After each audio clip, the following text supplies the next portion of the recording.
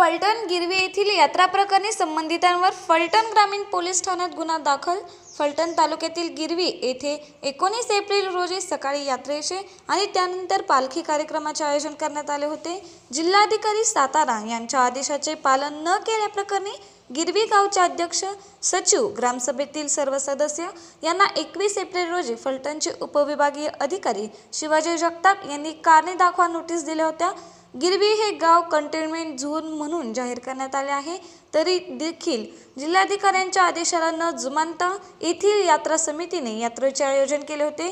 त्यानंतर स्थानिक प्रशासनाने याची दखल घेत दोषींना नोटीस बजावल्या होत्या याच अनुषंगाने याच अनुषंगाने पंचवीस एप्रिल रोजी फलटण ग्रामीण पोलीस ठाण्यात गुन्हा दाखल करण्यात आला आहे.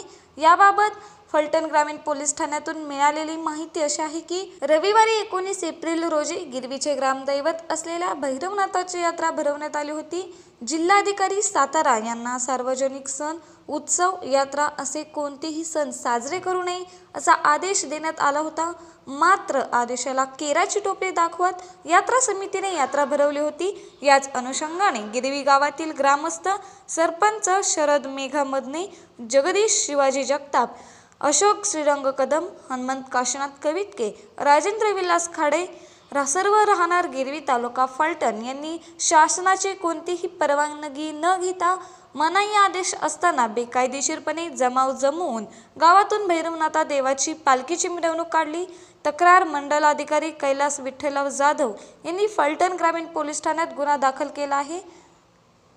प्रतिनिधी अमित आवळे एव्हीबी माझा फलटण.